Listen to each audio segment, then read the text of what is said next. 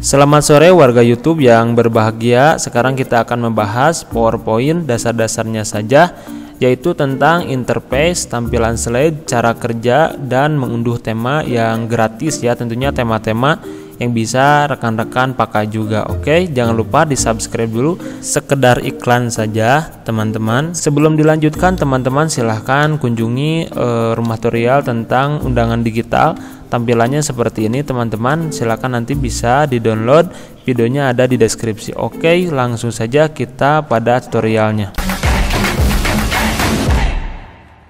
Ya pada tampilan yang pertama Anda bisa menggunakan PowerPoint langsung di panel di sini ya. Tinggal diklik saja PowerPoint. Setelah itu teman-teman akan masuk ke menu interface seperti ini.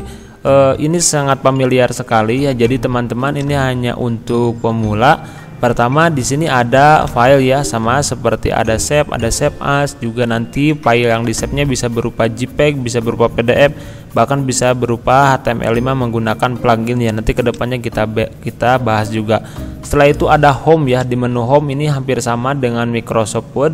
Di sini ada layout, cuman yang membedakan lebih spesifik yaitu di PowerPoint itu ada tampilan slide ya di sini atau disebut dengan slide master ya kita bisa membuat dari beberapa seperti yang ini kan untuk title slide untuk judul ini title untuk konten dan sebagainya lah. Seperti itu. Jadi ini untuk slide juga ada layout juga ya. Untuk layout kita bisa memilih apakah menggunakan gambar. Di sini sudah ada placeholdernya juga eh, ada layout-layout yang lain yang disesuaikan dengan kebutuhan kita juga. Itu untuk home ya. Selanjutnya ke sini hampir sama saja ada arranger, send to back, send to forward itu untuk memindahkan uh, objek dari ke, dari atas bawah dan juga ada align ya per, memindahkan dari rata kiri rata kanan. Ini hampir seperti aplikasi pengolah gambar atau aplikasi pengolah vektor. Jadi teman-teman juga bisa menggunakan mengolah gambar menggunakan PowerPoint ini. Selanjutnya ada insert ya di insert sendiri. Di sini adalah menu-menu untuk memasukkan sebuah objek e, seperti kita mem memasukkan tabel, memasukkan screenshot, bahkan kita membuat shape seperti shape-shape basic dan nanti juga ini bisa diolah menjadi eh, model-model yang tidak beraturan bahkan menggunakan perpotongan nanti ke depan kita bahas. Selanjutnya juga ada icon, ada 3D model dan yang lainnya ya kita bisa ambil nanti kita contohkan salah satunya. Selanjutnya di tab selanjutnya ada desain ya. Ini adalah template yang disediakan secara default yang ada di PowerPoint. Teman-teman bisa langsung pakai saja karena memang ini templatenya template biasa yang biasa digunakan secara standar. Ini untuk desainnya dan di sini juga ada pilihan warnanya. Barangkali teman-teman juga bisa memilih warna-warna yang diinginkan. Tetapi biasanya kalau menggunakan tema-tema yang lebih spesifik ini tidak dipakai ya tapi membangun atau membuat sendiri nanti kita akan download tema-tema atau template-template yang menggunakan edukasi, natural, kedokteran, medikal dan lain-lain lah.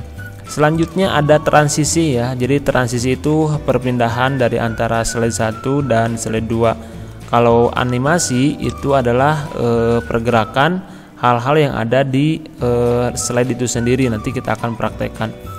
Selanjutnya ada slideshow ya. Slideshow itu e, men-testing ya. Jadi mengetes apakah tampilannya sudah benar, urutannya, animasinya sudah benar. E, di sini ada tombol-tombolnya. Selanjutnya juga ada review ya. Di sini review tentang ejaan, ada accessibility, juga ada translate language ya. Bahasa-bahasa juga bisa di compare ya dibandingkan antara uh, presentasi yang satu dengan presentasi yang lainnya baik itu dari pengurangan kata atau kelebihan kata kita bisa lihat nanti di sini. Di sini hal yang sama ya untuk view. Jadi untuk view itu uh, lebih ketampilan cara kita mengedit ya. Contoh misalkan kita dalam mode outline seperti ini, lalu juga ada mode slide sorter, juga ada mode note page ya dan lain-lain. Biasanya yang kita gunakan yaitu mode normal atau mode default yang di sini area untuk navigasinya secara linear dan di sini area untuk mengeditnya seperti itu. Nah, nanti untuk lebih spesifiknya kita contohkan satu-satu ya. Oke, selanjutnya di sini ada help ya. Tentunya kita bisa menggunakan menu help ini secara offline tetapi juga untuk lebih lengkapnya kita bisa menggunakan cara online seperti itu. Oke, itu untuk tampilan dari PowerPoint secara global atau secara umum. Sekarang teman-teman kita akan contohkan bagaimana cara cara menggunakan PowerPoint itu sendiri. Di sini saya sudah siapkan ya teman-teman dari beberapa judul juga nanti ke depannya fitur-fitur yang akan kita bahas secara lebih spesifik. Tapi untuk sekarang ini kita akan bahas bagaimana cara kerja e, menggunakan PowerPoint itu sendiri. Langkah pertama, teman-teman tentu saja harus sudah mempunyai bahan-bahan ya yang akan dibuatkan slide atau yang akan dibuatkan animasi karena di sini adalah sebuah PowerPoint jadi hanya poinnya saja atau hanya poin pentingnya saja yang harus disampaikan kepada audiens ya. Tentu di sini ada beberapa uh, tips ya. Yang pertama ada headline. Headline itu digunakan untuk judul yang sangat besar dan selanjutnya ada deskripsi. Di sini deskripsi yang menjelaskan sedikit lah atau seperti e, sinopsis di dalam buku yang menjelaskan apa saja nanti yang akan kita bahas. Selanjutnya ada gambar ilustrasi yang mewakili dari pengenalan PowerPoint itu sendiri dan di sini ada juga logo PowerPoint yang memang e, mewakili tentang materi PowerPoint dan selanjutnya untuk atribut yang lainnya teman-teman bisa disesuaikan dengan kebutuhan. Oke. Setelah teman-teman punya seperti ini, mohon maaf admin tidak mencontohkan dari awal untuk membuatnya ya. Karena memang ini e, sama saja seperti membuat tulisan, kita bisa membuatkan insert lalu text box. Karena di sini kita hanya cara kerjanya saja. Jadi bagaimana cara kerjanya ya? Jadi langkah pertama kita buat dulu sebuah elemen baik itu tulisan, gambar ataupun lain-lainnya. Setelah itu teman-teman di sini kita pilih salah satu atau pilih yang berurutan menggunakan animation ya. Kita bisa menggunakan ada animation pen di sini. Untuk animation pen sendiri ini adalah urutan eh, kapan gambar itu berawal, masuk atau menggunakan animasi ataupun berakhir ya seperti itu. Oke, supaya lebih mudah teman-teman eh, kita awali di sini dengan menggunakan eh, gambar dulu ya yang ini kita bisa dibuat seperti slide pertama kita bisa pilih kita bisa pilih play in oh, jadi seperti ini karena di blok semuanya maka semuanya dalam urutan bersamaan masuk pada e, detik pertama atau pada klik pertama selanjutnya di sini kita masukkan setelah gambar yaitu masukkan headline misalkan plot in ya oke selanjutnya kita masukkan pengenalan pelengkap Iya, seperti ini banyak sekali. Untuk contoh-contohnya, kita bisa juga menggunakan save.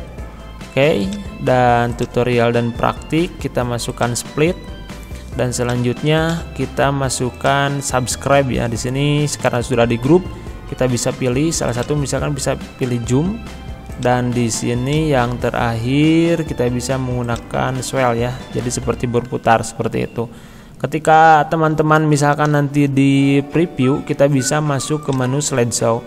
Ada pilihan ya ada dua ada from beginning maka kita eh, bisa melihat dari awal. Kalau misalkan current from slide berarti hanya eh, yang ditampilkan yang itu saja ya seperti itu. Jadi kita coba from slide saja oke? Gambar pertama ketika diklik lalu gambar kedua maksud saya tulisan yang kedua. Selanjutnya jadi untuk memunculkannya, teman-teman bisa diklik sambil bisa menjelaskan apa yang tampil dan apa yang tertera di dalam tulisan itu sendiri. Kalau sudah, kita masuk ke slide yang kedua. Oke, seperti itu. Untuk menuju ke slide yang kedua, teman-teman di sini kita bisa menggunakan transisi. Apakah transisinya itu e, menggunakan fade in, fade out dan lain-lain. Di sini juga banyak sekali yang ditampilkan dari PowerPoint itu sendiri. Misalkan kita bisa menggunakan seperti tirai juga ada bisa menggunakan seperti lipatan kertas kita coba yang menggunakan seperti tirai ya oke seperti itu. Maka caranya tekan F5 masuk ke halaman 1 kita klik saja.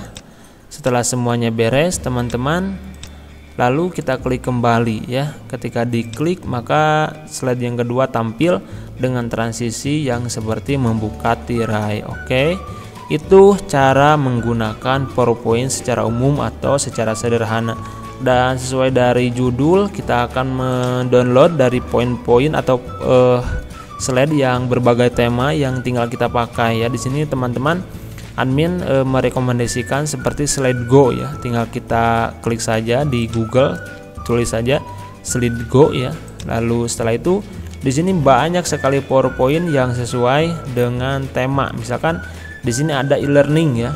Untuk e-learning sendiri tinggal kita ambil di sini ada menggunakan PowerPoint atau menggunakan Google Slide ya. Jadi untuk aplikasi seperti PowerPoint juga ada ya dari Google bahkan dari iOS juga ada seperti Keynote. Kebetulan kita menggunakan PowerPoint, kita klik kita download saja, teman-teman. Dan jangan lupa ya kalau sudah di-download di sini kita harus melihat dari uh, atributnya ya dari aturan-aturan yang harus dipatuhi seperti kita harus memasukkan atribut dan lain-lain. Nanti teman-teman bisa dilihat apakah aturan ketika kita ingin menggunakan eh, template dari SlideGo ini. Karena ada beberapa lisensi yang harus kita ikuti ya. Ini hasil downloadnya.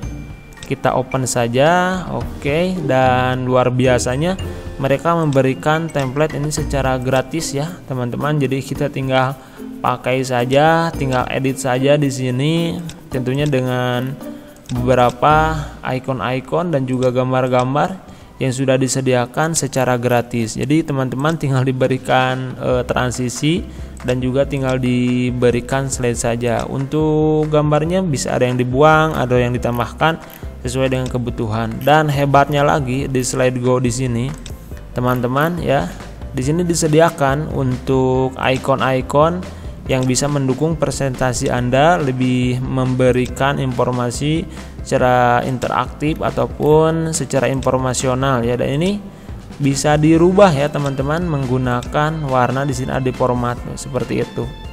Kita bisa menggunakan warna kuning atau bisa menggunakan warna lain lah seperti itu.